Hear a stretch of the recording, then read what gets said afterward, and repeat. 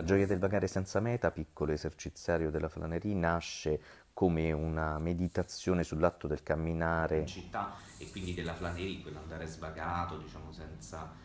tipicamente novecentesco, ma a questo punto ha avuto appunto anche delle sue code, insomma, anche contemporanee.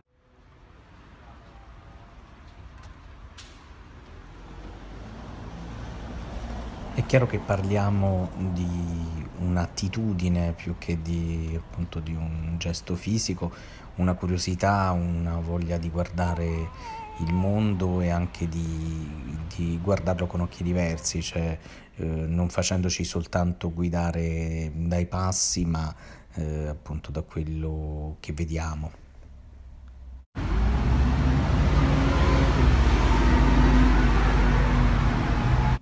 Ho cercato in questo senso di concentrarmi su ricordi e appunto anche visioni eh, che hanno accompagnato i miei passi dall'inizio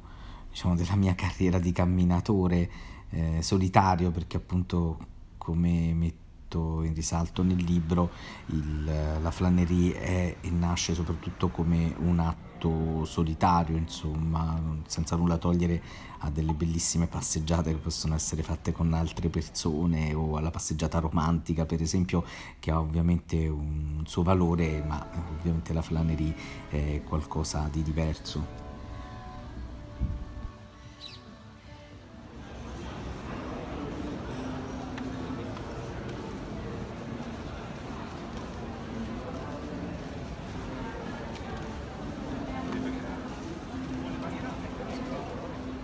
Ovviamente si tratta di guardare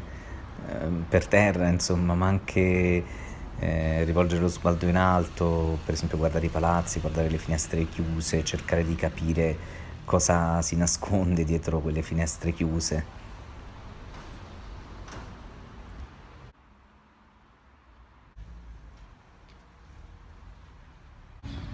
Sicuramente c'è una gioia nell'andare, ma in un modo particolare di andare, quello appunto svagato, senza uno scopo, senza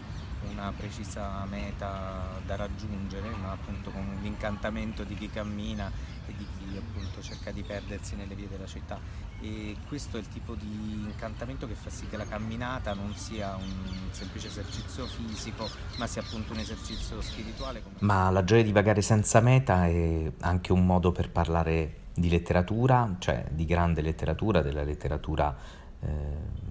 che ha al centro il viaggio, il camminare, soprattutto il camminare cittadino. E, è stato anche un modo per ripercorrere quelle che sono le mie letture amate, in particolare Antonio Delfini, uno scrittore modenese poco conosciuto,